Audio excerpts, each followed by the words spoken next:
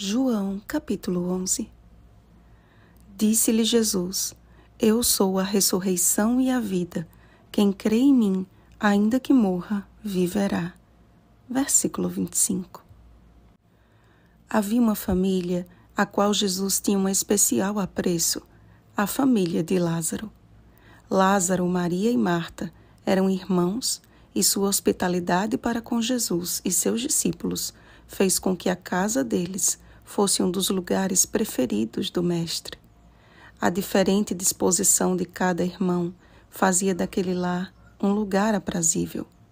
A prontidão de Marta, a bondade de Lázaro e a delicadeza de Maria compunham um cenário harmônico da mais pura atmosfera.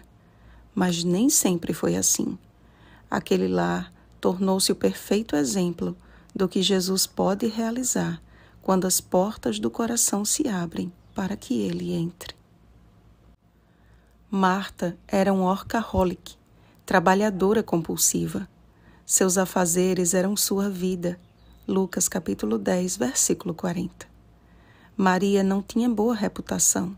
Lucas capítulo 7, versículo 39. E apesar de não haver nenhum outro relato sobre Lázaro ou como tornou-se amigo pessoal de Jesus, Certamente sua vida era tão preciosa aos olhos de Cristo que ele não suportou a ideia de passar seus últimos dias na terra com a lembrança de um amigo morto. Três irmãos, três personalidades, mas unidos num só coração, numa só fé em Cristo.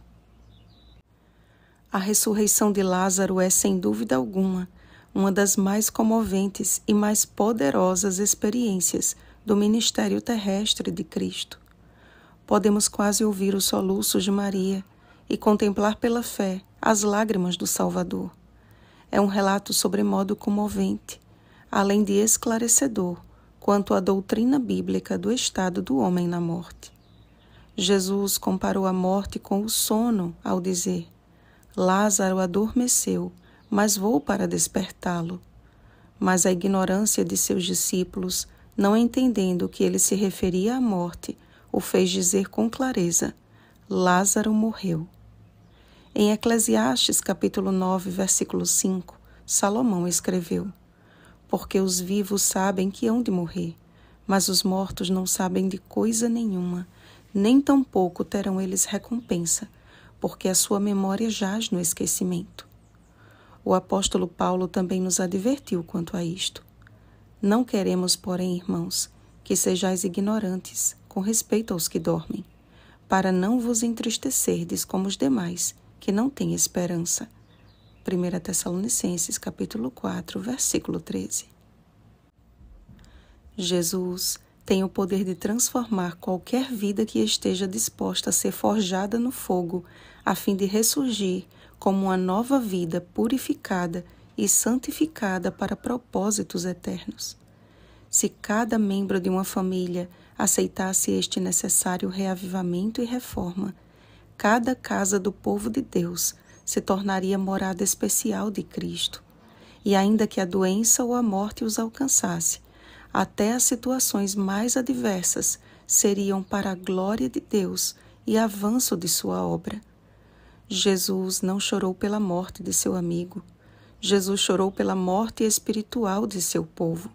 Maior do que a pedra que lacrava o túmulo de Lázaro era a dureza de coração da maioria dos judeus.